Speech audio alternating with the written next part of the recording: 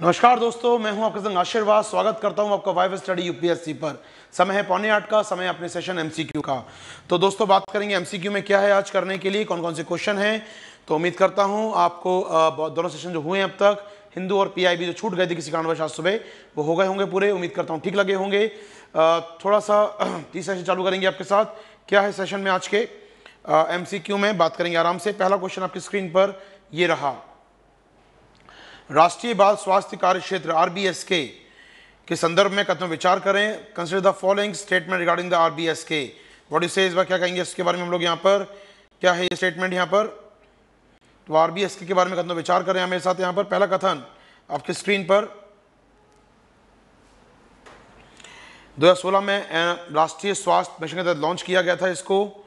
और दूसरा यहाँ पर है, ये स्वास्थ्य परिवार कल्याण मंत्रालय द्वारा क्रियान्वित किया जाता है। पहला, दूसरा, दोनों बात करें आपके साथ तो उसका आंसर गलत है पहला, क्योंकि पहले में ये कब लॉन्च किया गया था? 2013 में आरबीएस के याद रखिएगा एक काम कीजिएगा, बताइए होमवर्क मुझे। आरबीएस के में D four one two three D ये क्या है? ढूंढिएगा इसके आरबीएस के वन टू थ्री डी बताइएगा मुझे क्या है आप लोग ढूंढ के आराम से। बता दीजिए हिंट देता हूँ मैं आपको यहाँ पर। इसमें से एक डी है डिफिशियंसी यानी कमी। तो बात करेंगे चार डी क्या बताइएगा मुझे इसके अंदर। चार डी आरबीएस के केस के। तहत बच्चों का स्वास्थ्य का देखरेख की जाती है। और 18 वर्ष तक के बच्चों के लिए उनको चार डी लिखा है। आपकी स्क्रीन पर देख रहे हैं आप? डिफेक्ट्स डिफिशंसीज डिज़ीज़ डेवलपमेंट तो जाँच की जाती है इसके बारे में। उन बच्चों के आरंभिक जाँच यहाँ पर की जाती है। तो पहले का आंसर है दोस्तों बी तो उम्मीद कर रहा हूँ दोस्तों सेशन ठीक लग रहा होगा आपको। कुछ बदलाव किए गए हैं, जानकारी आपको दे चुका हूँ मैं कई बार। फिर एक बार जानकारी दे दूँ मैं आपको, यहाँ फटाफट जानकारी दे दूँ मैं आपको कि क्या क्या सेशन हम लोग लेके आए आपके लिए। बता चुका हूँ मैं कौन कौन सेशन आपके लिए आ रहे हैं। एक बार और देख लीजिए फटाफट कौन कौन सेशन आपके ला रहा हूँ मैं। तो सात बजे सुबह होगा करंट अफेयर्स तो सुमित सर के द्वारा। आठ बजे मैं मिलूँगा आपसे हिंदू एडिटोरियल में। नौ बजे फिर मुझे झेलना होगा आपको आईआर में। दस बजे मैं मिलेंगी आपको सबद्दी मैम। ग्यारह बजे सुमित सर एनवायरनमेंट में बारह बजे इकोनॉमिक्स होगा आपका। एक बजे जोग्राफी दो बजे पॉलिटी तीन बजे हिस्ट्री और चार बजे होगा आपका। चार बजे नहीं, फिर शाम में मिलूँगा मैं एन सी क्यू के साथ आपको यहाँ पर। तो ये सेशन चलते रहेंगे अपने मंडे से। चलिए दोस्तों, आगे कंटिन्यू करते हैं आपके साथ। अगला सवाल आपके स्क्रीन पर ये रहा। Global tiger forum global tiger forum के बारे में विचार करें ये बाघ रेंज देशों का एकमात्र अंतर सरकारी मंच है, जो रेंज देशों के टाइगर एक्शन प्लान को समेकित करता रहा है। फोरम का गठन तिरानवे बाघ संरक्षण का दृष्टि संगोष्ठी की सिफारिशों पर किया गया था। जी हाँ मुझे लगता है दोनों ठीक है ये। ज्ञानवर्धक है ये। जी हाँ दोनों सही हैं। तो याद रखिएगा ये कब बना था? दो नाइन्टी में। छब्बीस साल पहले फोरम गठन किया गया था। टाइगर कंजर्वेशन पर एक अंतर्राष्ट्रीय संगठित सिफारिशों पर किया गया था। इसका मुख्यालय भारत में आता है, नई दिल्ली में है क्योंकि दुनिया के 70 परसेंट टाइगर हिंदुस्तान में रहते हैं। तो जी हाँ सही है आपका आंसर ये? चलिए दोस्तों, जी हाँ सभी लोग रहेंगे आपके लिए। आईआर का फुल फॉर्म क्या है? पूछ रही अंजलि मुझसे। आईआर का मतलब होता है इंटरनेशनल रिलेशन यानी कि अंतर्राष्ट्रीय संबंध। हम बात करेंगे आपसे रात सुबह नौ बजे। मेरा काम होगा आईआर पर टॉपिक करना। चर्चा करेंगे भारत रूस पर, भारत अमेरिका पर, भारत पाकिस्तान पर, भारत श्रीलंका पर, भारत के बड़े अंतर्राष्ट्रीय मुद्दों पर चर्चा करेंगे। आपके संग करके हम लोग यहाँ पर चलिए चलिए चलिए। अच्छा आप हम लोगों को झेलते हैं। हाँ झेलता हूँ, थोड़ा बहुत झेलना ही पड़ता है आप लोगों को, लेकिन ठीक है, आप लोग प्यारे बच्चे हमारे, झेलना पड़ता है आप लोगों को। कोई बात नहीं, आप लोग नादानी करते रहिए। अच्छा है अच्छी मैं अच्छी बात है कि आप पढ़ते हैं रेगुलर मतलब कुछ बच्चे बहुत रेगुलर पढ़ते हैं, मैं देखता रहता हूँ उन लोगों को, अच्छी बात है मतलब आप सुन रहे हैं रेगुलर इतना जज्बा आपके अंदर है कि इस- मीडियम पर आप लोग सुन पा रहे हैं ऑनलाइन तरीके पर सुन पा रहे हैं, वरना जनरेशन एक्स की बात मैं करूँ आज की डेट में तो वो सुनना नहीं चाहती ऑनलाइन मतलब फटाफट होता है पाँच मिनट तो भगता चाहते हैं वो लोग। मेरा लेक्चर सुनने में पेशेंस चाहिए होता है, ध्यान रखना पड़ता है, वो शायद लोगों के पास नहीं होता है। तो मैं चाहता हूँ कि आप सुने लेक्चर अपने आराम से आराम से बात करेंगे हम लोग। तो आप देख रहे हैं यहाँ पर तीन क्वेश्चन नंबर तीन एकीकृत बाघ आवास संरक्षण कार्यक्रम I T S C P पर विचार कीजिए।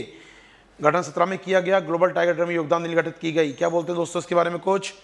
क्या बोलेंगे दोस्तों इसके बारे में कुछ हम लोग यहाँ पर? दो हज़ार चौदह में गठन किया गया था, पहला स्टेटमेंट गलत है। चौदह में गठन किया गया था, दूसरा सही है कि ये बनाई गई है ग्लोबल टाइगर प्रोग्रामिंग प्रोग्रामिंग के लिए बनाया गया इसको। पानी पीने दोस्तों गला थोड़ा ख़राब होने लगा आज मेरा। आज तो फ्राइडे वाला ख़राब हो रहा है मेरा, क्या करूँगे बताओ? मंडे तक क्या होगा मेरे गले का?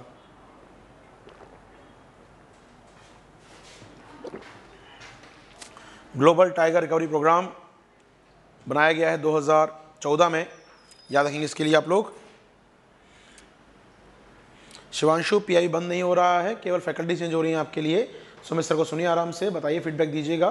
सब अच्छा रहेगा, उम्मीद करता हूँ, सब बेहतर होगा आपके लिए।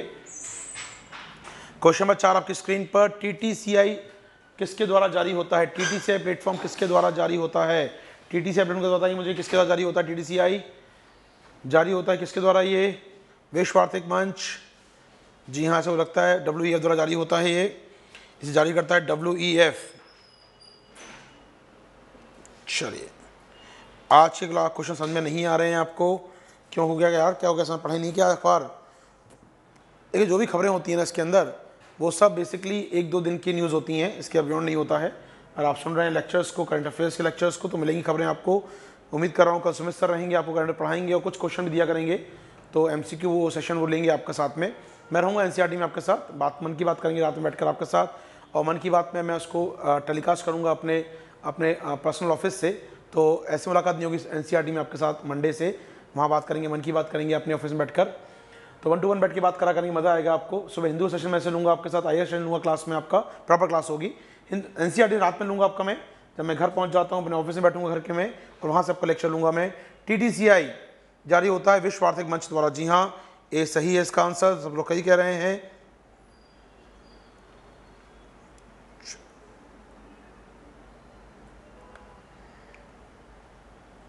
चलिए, आगे बढ़ेंगे आपके साथ। नहीं यार, बंद बिल्कुल नहीं होगा दोस्तों ये। नोआखाई त्योहार, किसके राज्य में मनाया जाता है? कौन से राज्य में होता है नोआखाई त्योहार? उड़ीसा तमिलनाडु, असम, पश्चिम बंगाल। नोआखाई होता है उड़ीसा राज्य में, दोस्तों। नोआखाई एक एग्रीकल्चर त्यौहार होता है, जो मनाया जाता है उड़ीसा में। उड़ीसा के लोग मनाते हैं नोआखाई त्यौहार को। आगे बढ़ेंगे आपके संग, दोस्तों, हम लोग यहाँ से। अगला क्वेश्चन आपकी स्क्रीन पर ये रहा। एशियाई सोसाइटी के अंदर विचार करें। एशियाई सोसाइटी के संदर्भ में विचार करें।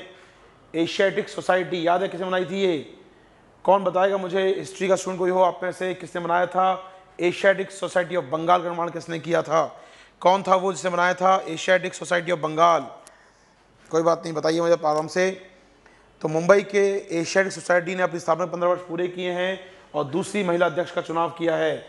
आ, पहली स्थापना उन्नीस चार बॉम्बे की साहित्यिक सोसाइटी में की गई थी। अब 115 है 215 अब 1904 में हुआ 215 नहीं होगा 115 होना चाहिए फिर यहाँ पर। एक तो गलत स्टेटमेंट है दोनों में से ना दोस्तों? क्या बोलते हैं इसका आंसर इसका आंसर है हमारे पास सिक्स का आंसर है डी दोनों ही गलत हैं। तो पहली बार महिला चुनी गई है इस, इस संस्था के अध्यक्ष महिला चुनी गई हैं प्रोफेसर विस्पी बालापुरिया और इसकी स्थापना हुई एटीन में बॉम्बे में सर जेम्स मैकेटॉश ने इसकी अध्यक्ष स्थापना की थी। 19 विलियम जोन्स बहुत सही अभिलाष बहुत सही आपने कहा विलियम जोन्स विपिन ने भी सही कहा है। एनी बेसन नहीं रानी एनी बेसन नहीं थी वो। सुरेंद्र बनर्जी नहीं थे दोस्त। सही कहा अभिलाष ने विभिन्न दोनों सही आंसर दिया है थैंक यू वेरी मच आप लोग पढ़ते हैं। ध्यान से पढ़िए, चीज़ गलत नहीं होना चाहिए आपकी चीज़ें यहाँ पर। क्वेश्चन नंबर सेवन आपकी स्क्रीन पर, ये रहा। वर्ल्ड गोल्ड काउंसिल द्वारा दिए गए विचार डेटा पर जारी विचार करें। छः टन के कुल सोने के भंडार के साथ भारत देश सूची में चालीसवें स्थान पर है। अच्छा कितना कम गोल्ड है हमारे पास? सोने का भंडार आरबीआई अपने फॉरेक्स के एक परसेंट रखता है। क्या बोलते हैं दोस्तों आप लोग? चालीसवें स्थान पर हम लोग हैं।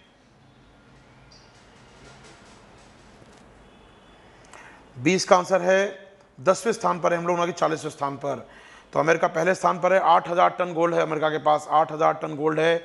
उसका जर्मनी है, आईएमएफ है, इटली, फ्रांस, रूस, चीन। तो भारत चालीसवें स्थान, दसवें स्थान पर आता है भारत छः सौ अठारह टन के साथ। यार, ये तो वो है ना जो दिखता है लोगों को ना, ये तो वो है। जो नहीं दिखता गोल्ड, उसका काउंट कहाँ होता है मतलब? कितना ब्लैक मनी है देश के अंदर, कितना ब्लैक गोल्ड है देश के अंदर? Not exact black gold black money के रूप में गोल्ड है देश के में। वो सामने आ जाए तो शायद वो अमेरिका ज़्यादा गोल्ड होगा हमारे पास। ऐसा मेरा मानना है। मतलब सरकार को प्रयास करना चाहिए उन मंदिरों में जो गोल्ड रखा है कहीं कहीं जो गोल्ड रखा है, निकाला जाए इसको। तो शायद हमारे पास ज़्यादा गोल्ड होगा इससे। अमेरिका ज़्यादा गोल्ड हमारे पास होगा। पक्की बात है। मतलब सोने की चिड़िया, आज भी सोने की चिड़िया हैं। इन चिड़िया को छुपा लिया कुछ लोगों ने। तो उनसे निकाल लिया जाए, चिड़िया को तो बचा सकते हैं हम लोग शायद देश को अपने। चलिए दोस्तों, दसवें स्थान पर इंडिया है। आगे बढ़ेंगे दोस्तों आप आपके साथ। अगला क्वेश्चन नंबर आठ आपकी स्क्रीन पर। मेगालिथिक कल्चर में विचार करें। मेगालिथिक कल्चर क्या है? मेगालिथिक कल्चर लोहो युग जी, ठीक है। मेगालिथ पत्थर की संशोधन करते हैं तो कब्रगाह या स्मारक स्थल में। याद है अभी एक गाँव में बात करता मेगालिथ गाँव के बारे में आपसे मैं। कहाँ पर था वो दोस्तों? नागपुर या कुछ याद है? विदर्भम में लातम को।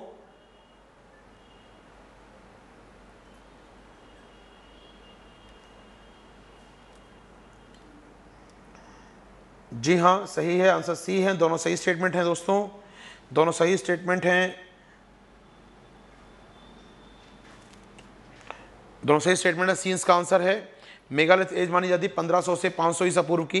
क्वेश्चन नंबर नाइन आपकी स्क्रीन पर निशस्तीकरण सम्मेलन संदर्भ में हूँ विचार करें। इसे औपचारिक रूप से 1998 में लॉन्च संयुक्त राष्ट्र में शामिल किया गया था।